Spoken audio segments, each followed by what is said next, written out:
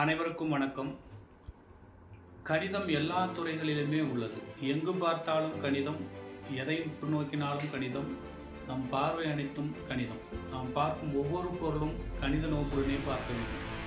கணிதம் என்றாலே பல்வேறு குழந்தைகளுக்கு அது ஒரு கசப்பு மருந்தாக தெரிகிறது. கணிதம் உண்மையிலே இனிக்கும் கற்கண்டு.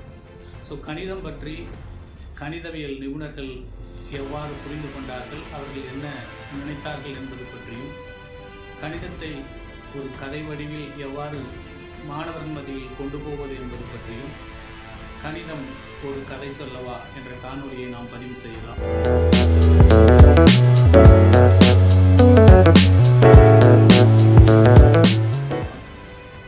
ஸோ முதல்ல எண்கள் தான் கடவுள் என்றார்கள் பித்தாகரஸ்வாதிகள் ஸோ நம்மளாம் கடவுள் மீது அதீத பக்தி கொண்டிருப்போம். ஆனால் பித்தாகரஸ்வாதிகள் எண்கள் தான் கடவுள் என்றார்கள். எனது பாட்னார் பிளாட்டோ கணிதம் கற்ற ஒருவனால் எதையும் சிறப்பாக செய்ய முடியும் என்றார். அவர் மேலே இன்னொரு படியும் போய் கடவுள் வடிவியலின் நிரந்தர நிபுணர் என்றார். ஸோ அதன் அடிப்படையில் தான் நாம் இன்றைக்கும் மாணவர்களுக்கு வடிவியல் சார்ந்த விஷயங்களை முதல் பாடமாக வச்சிருக்கிறோம். ஸோ நம்முடைய ஷேப்ஸ் இவை எல்லாமே முதல் பாடமாக வச்சிருப்பாங்க. கடவுளுக்கு புரியும் ஒரே மொழி கணிதம் என்றார் கேஸ் ஸ்டவ் ஸோ அதனால் கடவுளுக்கே கணிதம் புரியும் என்ற அளவுக்கு கூட நம்முடைய முன்னோர்கள் கணிதத்தை அணுகினார்கள். மேத்தமெட்டிக்கா என்ற ஒரு கிரேக்க சொல் உண்டு. அந்த கிரேக்க சொல்லுக்கு கற்க முடிந்தது என்று பொருள். ஸோ மேத்தமெட்டிக்கா என்றால் நாம் கற்க முடிந்தது என்று பொருள்பட கணிதத்தை அணுகினார்கள். அதே போல பிரின்சிபல் ஆஃப் மேத்தமெட்டிக்கா என்பது பெட்ரான் ரசல் எழுதிய ஒரு அற்புதமான புத்தகம். ஸோ பிரின்சிபல் ஆஃப் மேத்தமெட்டிக்கா ஒரு கணித துறையில் நாம் எவ்வாறெல்லாம் இருக்க வேண்டும் நம்ம எப்படி கணிதத்தின் மீது ஈடுபடுத்திக் கொள்ளப்பட வேண்டும் என்ற நோக்கில் பிரின்சிபல் ஆஃப் மேத்தமெட்டிக் என்ற நூலை வந்து பெட்ரான் ரசல் எழுதியிருப்பாங்க. அதே போல் the education for better social order சமூக மேம்பட்ட கல்வி என்ற ஒரு நூலையும் பெட்ரான் ரசல் எழுதியிருப்பார். ஸோ இந்த பெட்ரான் ரசலை பற்றி சொல்லணும் அப்படின்னா இவர் வந்து ஒரு இலக்கியவாதி ஒரு தத்துவவாதி ஒரு கணிதத்துவ நிபுணர். இவர்கள் ஒரு நோபல் பரிசும் பெற்றிருக்கிறார். இலக்கியத்திற்காக பெட்ரான் ரசல் நோபல் பரிசு வாங்கியிருக்கார். அதுவும் குறிப்பாக the education for better social order என்ற புத்தகத்திற்கு சமூக மேம்பட்ட கல்வி என்ற நூலை அந்த இயற்றமைக்காக அவருக்கு நோபல் பரிசும் கிடைக்கும். ஸோ இதில் ஒரு ஒரு அருமையான கூற்றை சொல்லியிருப்பார். Y is equal to f of x DM அதில் ஒய் அப்படிங்கிறது மாணவர்கள் எக்ஸ் அப்படிங்கிறது வந்து ஆசிரியர் டி அப்படின்னா இந்த சொசைட்டியை குறிக்கும் எம் அப்படின்னா மாரல் வேல்யூ ஸோ ஒரு மாணவனை நல்வழிப்படுத்தணும் அப்படின்னா அது யாரெல்லாம் பங்கு பெற்றிருக்கணும்? ஆசிரியர் இருக்கணும் இந்த சமுதாயம் இருக்கணும் நீதி நெறிகள் இருக்கணும் ஸோ இது எல்லாமே இருந்தால் தான் மாணவரை நல்வழிப்படுத்த முடியும் அப்படின்னு சொல்லி தன்னுடைய இலக்கிய படைப்பு education for better social order என்ற நூலில் வந்து பெட்ரான் ரசல் குறிப்பிட்டிருப்பார்.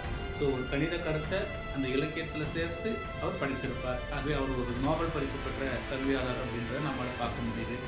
கூட்டல் குறியை கண்டறிந்தவர்கள் இத்தாலியர்கள். ஸோ இன்றளவும் நாம் பயன்படுத்தக்கூடிய இந்த கூட்டல்குரிய இத்தாலியர்கள் கண்டுபிடித்தார்கள். லிப்னிஸ் அப்படிங்கிற ஜெர்மானியர் தான் வந்து பெருக்கல் குறிய அறிமுகப்படுத்தினார். அதே போல் கூழாங்கற்களை எண்ணுவதில் இருந்து தான் நாம் அபாகஸ் அப்படிங்கிற ஒரு கருவிக்குள்ளே போய் சேர்ந்தோம் கண்டுபிடிச்சோம் அப்படின்னு பார்க்க முடியும்.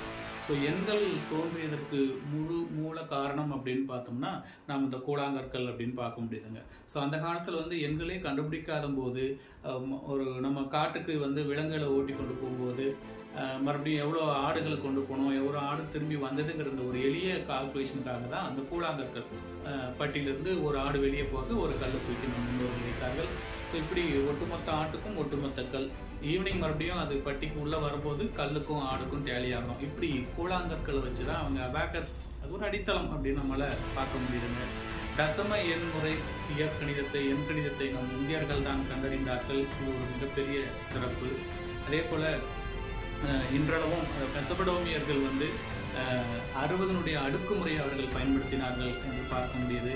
ஸோ இன்றளவும் ஒரு மணி நேரம் ஒரு மணித்துளி இப்படி நுண்ணியமான கால்குலேஷன்ஸ் எல்லாத்தையுமே வந்து மெசபடோமியர்கள் தான் பயன்படுத்தினாங்க. அவர் துல்லியமான கணக்குகளை அவர்கள் கையாண்டார்கள்.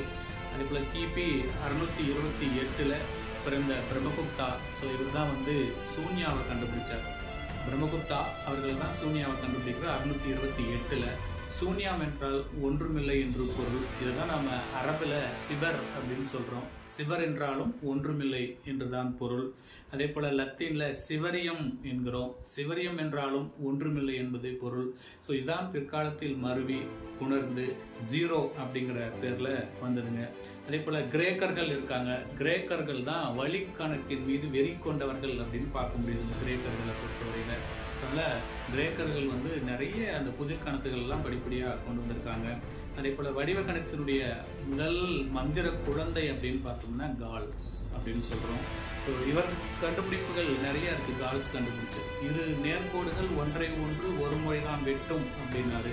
அதே போல் ரெண்டு புள்ளிகளுக்கு இடைப்பட்ட மிக குறைந்த தூரம் ஒரு நேர்கோடாக தான் இருக்க முடியும்னு சொல்லி முத முதல்ல குறிப்பிட்டவரே இவர் தான் கால்ஸ் அப்படிங்கிறவர் தான் அதே போல அரைவட்டத்தில் தாங்கக்கூடிய அந்த கோணமானது கட்டாயமாக செங்கோணமாக தான் இருக்கும் அப்படிங்கிறதையும் கால்ஸ் தன்னுடைய கோட்பாடுகளில் உறுதிப்படுத்தியிருப்பார் ஸோ அதே போல பித்தாகரஸ் நம்ம கேள்விப்பட்டிருக்கோம் பித்தாகரஸும் தாலஸும் இருவரும் வகுப்பு தோழர்கள் அப்படின்னு பார்க்க முடியுதுங்க.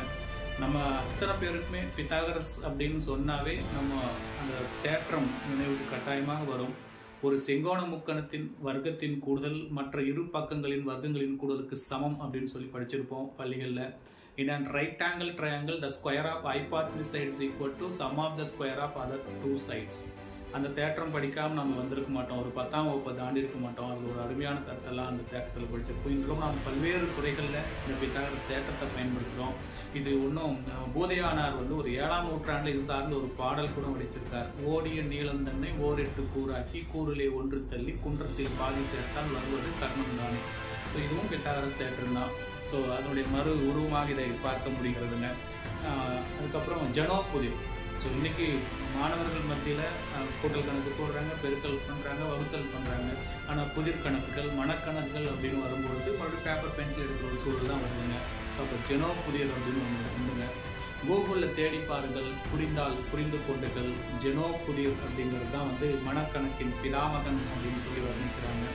ஸோ அந்த அளவுக்கு நம்ம குழந்தைங்களை வந்து மனக்கணக்கில் ஈடுபாடு செய்ய வச்சு மாணவர்களுக்கு வந்து ஒரு ப்ராப்ளம் சால்விங் ஸ்கில்லை வந்து நம்ம கொண்டு வரணும். அதே போல் வரைபடத்தினுடைய தந்தை அப்படின்னு பார்த்தோம்னா யூக்ளிட் அப்படின்னு சொல்கிறோம் ஸோ இன்று நாம் பயன்படுத்தக்கூடிய இந்த ஜாமெண்ட்ரி பாக்ஸுக்கு முன்னோடி யார் அப்படின்னு சொன்னால் இந்த யூக்ளிட் அப்படிங்கிறது தான் கடித வரலாற்றுகளில் மூன்று மிகப்பெரிய ஜாம்பாகங்கள் இருக்காங்க. அதில் முன்னோடியாக இருப்பவர் ஆர்கிமிடிஸ் தான். ஸோ இவர் எண்ணற்ற கண்டுபிடிப்புகளை ஆர்கிமிடிஸ் கண்டுபிடிச்சிட்டார். உதாரணத்துக்கு நெம்புகோலின் தத்துவம். இன்னொரு இரக்கா இரக்கா அப்படிங்கிற வார்த்தையை நம்ம எல்லாருமே கேள்விப்பட்டிருப்போம். இது அவர் வாய்வழி வார்த்தை தான் ஆர்கிமிடிஸோட அந்த அவர் சொன்ன அந்த வார்த்தை தான் அது ஸோ ஒரு ஒரு கோலத்திற்குள் உருளையை நாம் அடைப்பட்டால் ஒரு உருளையை வைத்தால் மூன்றில் இரண்டு பாகங்கள் அந்த இடத்தை அது பிடிக்கும் அப்படிங்கிறத தன்னுடைய ஆய்வு மூலம் வெளிப்படுத்தியவர் இவரே தான் ஆர்கிமிடிஸ் தான்.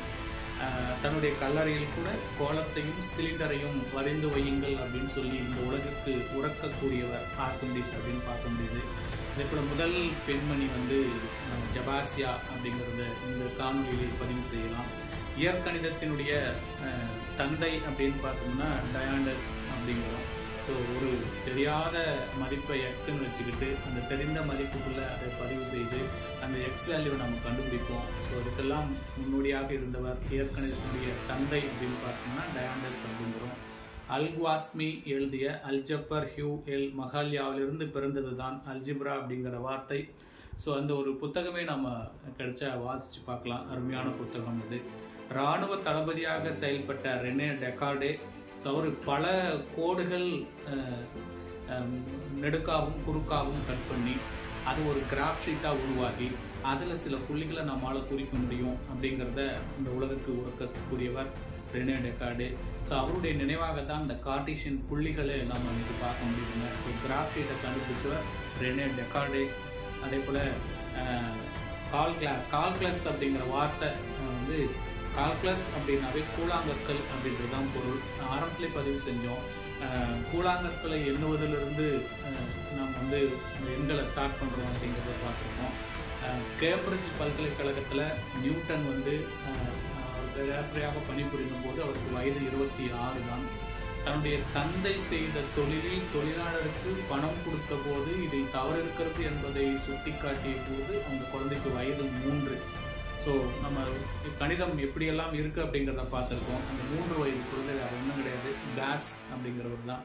ஸோ இந்த கேஸ் இன்னைக்கு நம்ம காம்ப்ளெக்ஸ் அனாலிசிஸ் உயர் வகுப்புகளில் பன்னிரெண்டாம் வகுப்புகளில் குழந்தைங்க வந்து காஸ் காம்ப்ளெக்ஸ் அனாலிசிஸை படிக்கிறாங்க அப்படின்னா அதற்கு முன்னோட்டமாக இருந்தவர் இவர் கேஸ் அப்படிங்கிறவர் தான்.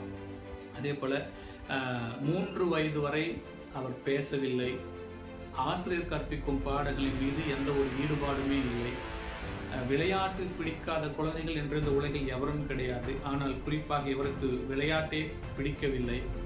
இன்றைக்கெல்லாம் நாம் பயன்படுத்தக்கூடிய ஏடிஎம்மில் பணம் எடுக்கிறோம். அந்த ஏடிஎம்மோட பணத்தை எடுத்திருக்கிற சூத்திரத்தை கண்டுபிடித்த சூத்திரதாரி இன்று நாம் வறுமை கோட்டில் வாடினார். வறுமையின் கோரப்பிடிக்கை சென்றார் என்றால் அது ஒரு எவ்வளோ ஒரு தாக்கத்தை ஏற்படுத்தியிருக்கும் அப்படின்னு பாருங்கள் அதே போல் வந்து ஆசிரியர் வந்து கற்பிக்கும் பொழுது இவர் என்னைக்குமே கடைசி பெஞ்சில் தான் உட்காந்துருக்கார் பூஜ்யத்திற்கு மதிப்பில்லை என்று சுட்டிக்காட்ட பூஜ்யத்திற்கு மதிப்பு உண்டு. அது வடப்புறம் சேர்கிறதா இடப்புறம் சேர்கிறதா என்பதை பொறுத்துதான் பூஜ்யத்திற்கு மதிப்புண்டு என்றார் வடப்புறம் ஒரு பூஜ்ஜியம் சேர்த்தால் பத்து மடங்கு அதன் மதிப்பு கூடும் என்றும் இரண்டு பூஜ்ஜியங்களை சேர்த்தால் நூறு மடங்கு அதன் மதிப்பு கூடும் என்பதையும் சுட்டிக்காட்டியவர். அதே போல தான் பள்ளிவாசலில் வகுப்பறையில் படிக்கும்போது கல்லூரி மாணவர்களுக்கு அவர் டியூஷன் எடுத்தார் என்றால் அப்படி ஒரு கணிதத்தின் மீது அவருக்கு இருந்த பற்று ஒரு தாக்கத்தை நாம் என்னவென்று சொல்வது? இந்த கணிதம் என்பது ஒரு மிக நுட்பமான விஷயம். அனைத்து துறைகளும் இருக்கு என்பதை நாம் இதன் மூலமாக தெளிவுபட விரும்புகிறோம். தெளிவுபடுத்த விரும்புகிறோம். அதே போல வந்து இப்படி புகழின் உச்சிக்கே சென்றாலும் இவர் ரயில்வே தண்டவாளத்தில் தலை வைத்து தற்கொலைக்கு முயன்றார் என்றால் அவர் வாழ்க்கையினுடைய அந்த சோகம் எந்த அளவுக்கு இருக்கும் என்பதை நாம் தெரிந்து கொள்ள வேண்டும். ஸோ வேறு யாரும் கிடையாதுங்க. நம்ம உலக புகழ் பெற்ற சீனிவாச ராமானுஜன் தான். ஸோ நம்ம ராமானுஜன் போல அம்மையார் சகுந்தலா தேவி போல எண்ணற்ற ராமானுஜங்களையும் எண்ணற்ற சகுந்தலா தேவி அம்மையார்களையும் நம் மாணவர்கள் மத்தியில் உருவாக்க வேண்டும். எனவே கணிதத்தின் பற்றிய விவரங்களை கணிதத்துடைய தாக்கங்களை மாணவர்களுக்கு எடுத்துக் கூறுமாறு அனைவரையும் அன்போடு கேட்டுக்கொள்கிறேன். நன்றி.